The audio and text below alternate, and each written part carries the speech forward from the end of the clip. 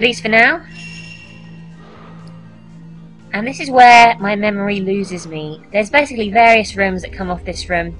Um, and essentially, not really a lot happens for a while. I'm going to be wandering around, and the idea is to explore certain areas and trigger two men in the dark, uh, two white men, sorry, not men in the dark. Those those guys are just fought to attack you.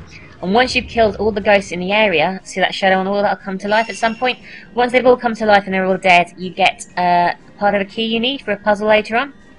So that is what we're going to have to do at the moment. Um, I can't actually quite remember where the puzzle is, but I think it's way back on the other side of the area.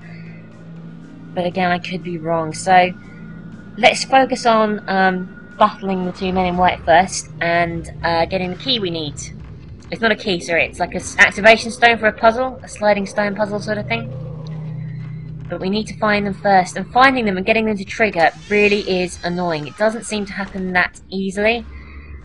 I vaguely remember going down here last time, so making sure there's nothing around here and they're not going to pop out on me.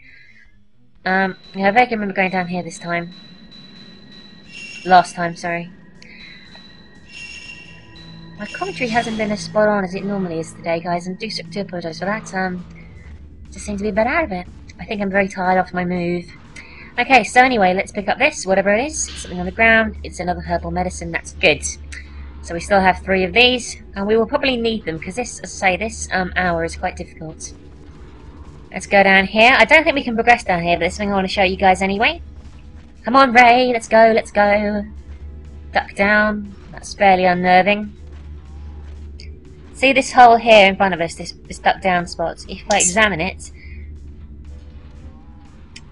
only child or a small